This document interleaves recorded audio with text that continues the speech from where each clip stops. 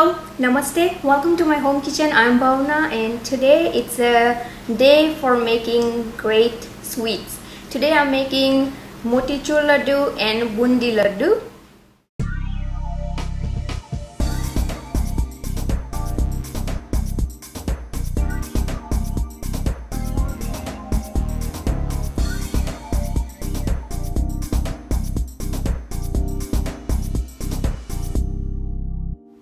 Motichur and bundi laddus are Lord Ganesha's favorite laddus and I love this motichur and bundi laddu as well. So let's start making laddus. The first thing I'm going to prepare is the um, sugar syrup mixture and we need a one and a half thread consistency for this recipe. So here I have one cup of sugar and here I have the three quarter cups of water. Now, if you are good at just eyeballing what I normally do, I just take the water level till my sugar is soaked. So I usually do not even measure, but this is the standard measurement. And to add flavor, I have here the saffron kesar and cardamom powder. So here in this pot, one cup of sugar, three quarter cups of water. Take few strands of saffron and with your finger just break them like this and add just a little bit of cardamom powder. So the sugar syrup mixture is ready. I'm going to put this on the side and now i'm going to prepare the batter to make bundis now the only difference for making bundis what bundi is is when you when you when we say motichur it means uh, it moti means beads. And uh, it's sort of pearl so that's how the name came because it exactly looks like the um, pearls so for motichur laddu we need a very small very small bundis and for uh, bundi laddu usually you can uh, make the big bundis. So you're gonna see the difference today anyway. And so now it's time to prepare the batter. Here I have one cup of besan chickpea or garbanzo flour and about less than one tablespoon of ghee and I need a melted ghee so I'm going to pop this into the microwave and melt it. And I need a half cup of water. So here I have the half cup of water. Or is needed because uh, to make the right consistency of your batter you might need a less or more water. So it depends. I really can't tell you exact measurement for water.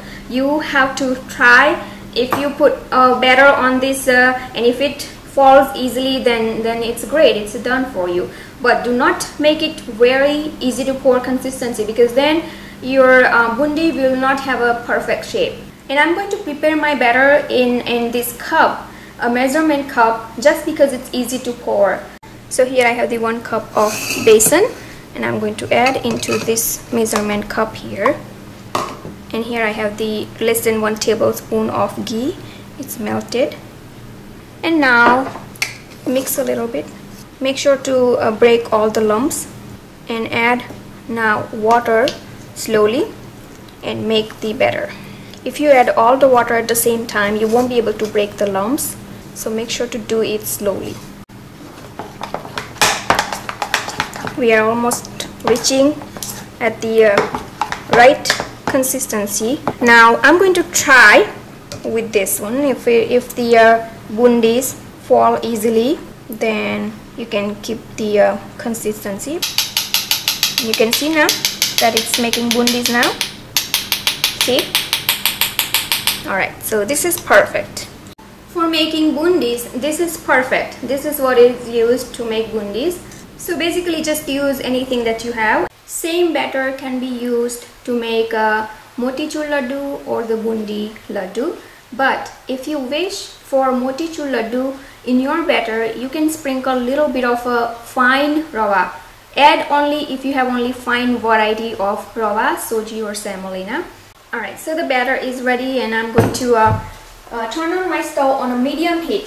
First heat up the oil and then bring down the temperature when you're making the bundis turn it on on a medium heat right now. I have here my uh, sugar syrup getting ready here already almost about to get done. And once the bundis are fried I what I normally do I use this.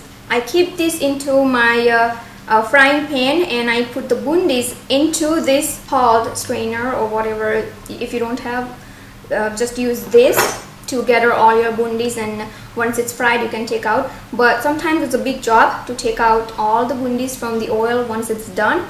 So to get it done faster I have this I keep this into the pan and then once the bundis are done I just pick this up. So that makes easier.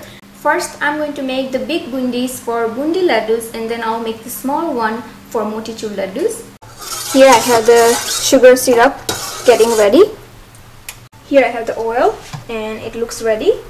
And try with the small and it's done. You can see that. And your sugar syrup should be ready by this time and I'm ready to make my bundis let's check on sugar syrup. It's boiling good here. When you do like this you can see this is called one thread consistency. So it's about to get done. So take the batter and keep it at the bottom do not keep it up otherwise it won't make the round bundis but it will make long bundis and when the bundis are done you just have to pick this up. If some of the bundis get together that's okay. When you put put them into the uh, uh, sugar syrup it will again get separate out. You can see that it, it separates out easily. So this works great. So these bundis are done. And uh, here I have the sugar syrup ready as well. So directly into the sugar syrup. So I'm gonna keep making big bundis first. And here I have my bundis here in the sugar syrup. Here I have all the big bundis done. And let them soak the sugar syrup. Nice now while this is warm start making laddus. If it cools down then you won't be able to make good laddus.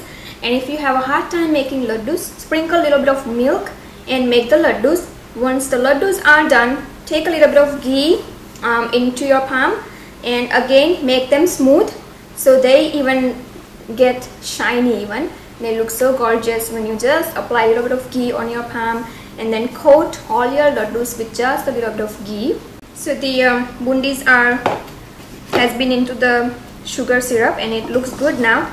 You can even uh, try eating one. Mm, me and now to this. I'm going to here I have the um, almonds. So I'm going to add almonds. And here are few pumpkin seeds. These are the pumpkin seeds.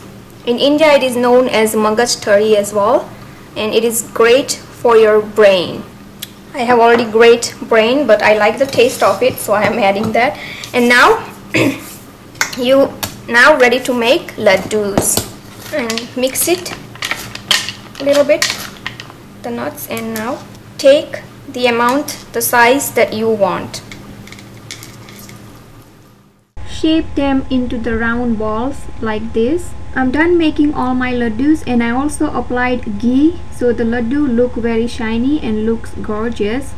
When you make a bundi laddu, you can also add some colors like red, green. Divide your batter in three batches. Make sure but the yellow is more than the uh, colorful bundis so the majority of your bundis will be yellow color and only few red and few green. So you can combine all of them when you make bundi laddus bundi laddus and they look great. But it's up to you. If you're not adding any food color then just leave it out. The taste remains same anyway but if you are just making for some get together party picnic uh, and you if you would like to uh, give a little nice look to it you can do that here is how it looks like when you add color to few of your bundis. Put some liners in your tray and put the laddu in it.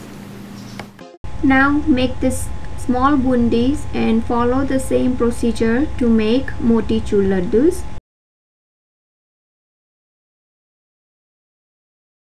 So here are the uh, bundi laddu so this was all about the bundi laddu and motichur laddu. Thank you for watching and I will see you real soon with the next great recipe.